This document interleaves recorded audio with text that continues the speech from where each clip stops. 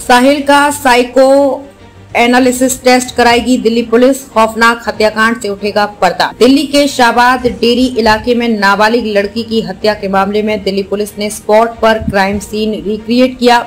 सूत्रों के अनुसार, साक्षी हत्याकांड के आरोपित साहिल खान को पुलिस बुधवार को सुबह करीब चार बजे शाहबाद डेरी इलाके में क्राइम स्पॉट पर ले गई।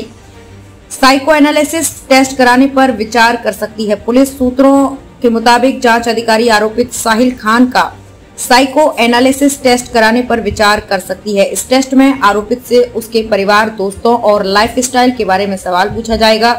उम्मीद है टेस्ट करीब तीन घंटे तक चल सकता है। इस टेस्ट के माध्यम से आरोपित साहिल की मानसिक स्थिति के बारे में पुलिस को जानकारी मिलने में मदद मिलेगी। साक्षी के पेट में साहिल ने किया था चौतीस वार। बता दें कि आरोपित साहिल खान ने पुलिस से पूछताछ में खुलासा किया कि जब साक्षी ने उसे नजरअंदाज करके बात करनी बंद कर दी तो उसने गुस्से में आकर उसकी हत्या कर दी। साहिल ने साक्षी के पेट में चाकू से करीब चौतीस वार किए थे। इसके बाद पास में पड़े पत्थर को साक्षी के सिर पर मार दिया, जिससे उसकी मौके पर ही मौत हो गई। चाकू की पुलिस ने रेठाला में की तलाश।